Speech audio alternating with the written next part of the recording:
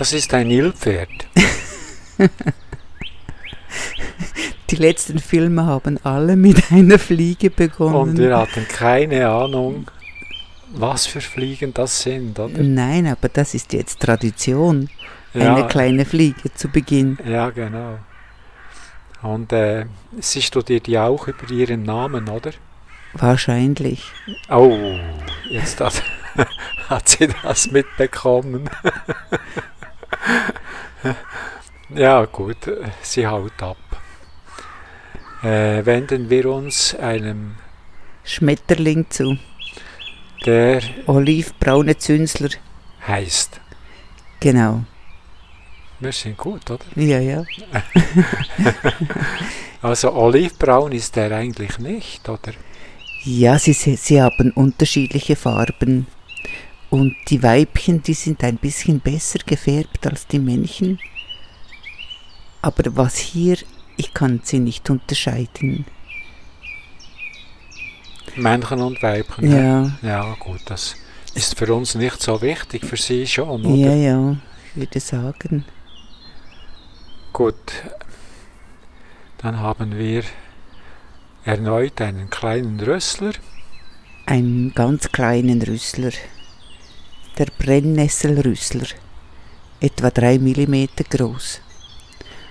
Und er lebt fast nur auf großen Brennnesseln. Also lieber er als ich, oder? Ja, genau. Aber hier sieht man gut die Brennnessel, die kleinen, wie sagt man dem? Das sind die, die schmerzen nachher, oder? Nein, Die Stacheln. Nein, nein, ich denke nicht.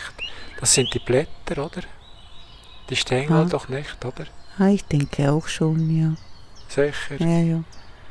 Also, ich filme sehr ungern in Brennnesseln. Ja, ich auch. Man hat dann den ganzen Tag ein Geschenk Ja, ich habe schon gelitten wegen, wegen diesen Brennnesseln. Ja. So, der Kleine hat ein Abenteuer gefunden. Genau. Und äh, er hat es nicht eilig, oder? Nein, ganz gemütlich. Ja. Aber wir haben sie nicht so viel angetroffen, diese Nein. kleinen Käfer. Ja. Ja, sie waren selten. Gut, wir sind auch selten in den Brennnesseln. Ja, genau, ja. Ja, da kommen wir doch zu einem größeren Käfer. Der silbrige Purzelkäfer. Er ist etwa so 8 bis 9 Millimeter groß. Und warum er purzelt, das sehen wir sehr gut an seinen Beinen, also Füßen. Ne? Er hat nur Klauen, Ja, so kleine Sicheln, wie der, äh, was war das für einer? der Goldstaub, Genau, ja. ja. Ja, sie gehören alle in die, in die gleiche Gruppe. Der Blatthornkäfer, so die, wie die Maikäfer. Ah. Und Juli. Juli Ja, Käfer. Juni, Juni. Juni. Ja.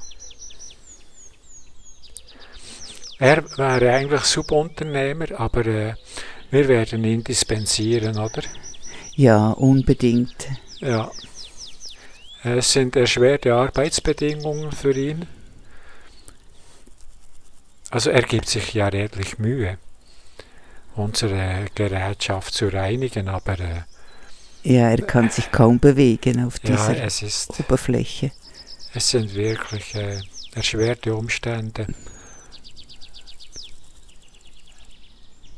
Ja, er versucht alles. Und wie man sieht, unsere Gerätschaft hat es nötig. Ja, das wäre nicht schlecht, wenn sie gereinigt würden.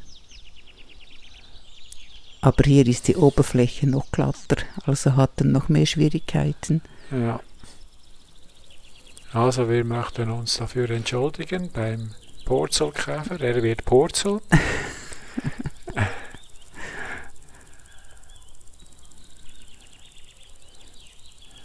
er ist hartnäckig. Ja, ja. Es gab anscheinend früher auch, auch viel mehr von diesen Käfern. Ich habe gelesen, dass sie im letzten Jahrhundert haben sie wirklich so äh, schw wie Schwärme beobachtet, so 50 bis 100 Stück. Zusammen. Ja,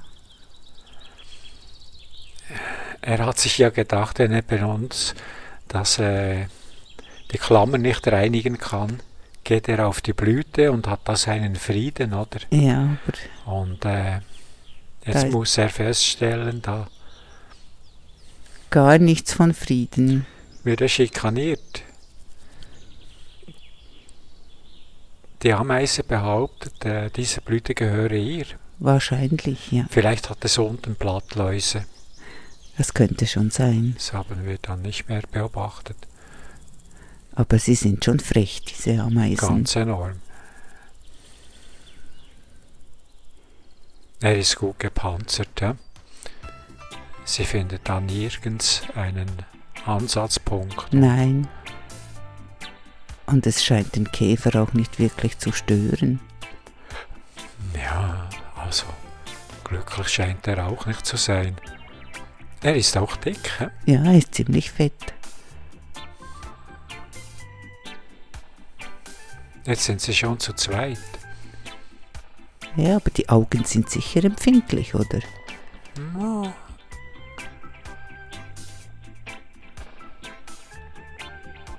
Ich weiß nicht. Hat er vergessen, dass er fliegen kann?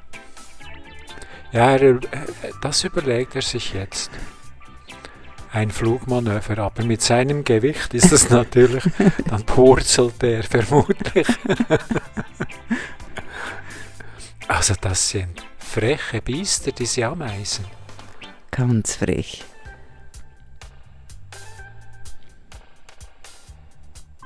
Die geben keine Ruhe. hä? Nein,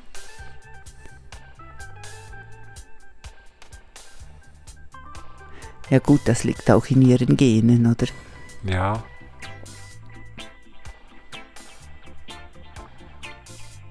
So. Und, Kollege? Jetzt ist er aufgewacht. Jawohl, er hat sein Gewicht doch noch in die Luft gebracht. Und er hat, äh, das war eine Sie. Schau mal, Ja, die Herren sind genau. etwas schlanker. ja, Sie hat sich ein anderes Vergnügen gegönnt, hä? genau. mit zwei potenziellen Liebhabern.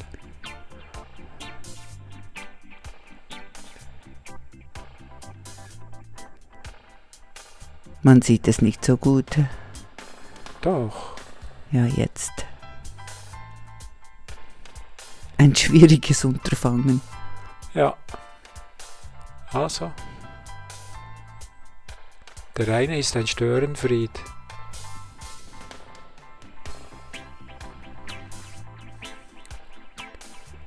Es hat vielleicht zu wenig Weibchen.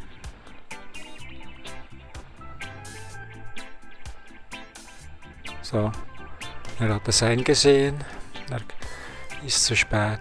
Aber ich glaube nicht, dass die Paarung hier funktionieren kann. Sie ist so dick und er ist auch äh, nicht unbedingt. Super schlank. Ja, also. Wie sollte das funktionieren? Er fragt sie sicherheitshalber. Schau, Ja, ja. Vreneli, Wie was denkst du? Wie wäre es mit einer Liebschaft? Also ich habe nicht den Eindruck, dass das funktioniert. Nein, sie können sich nicht fortpflanzen. Ich denke, das sind die letzten ihrer Art.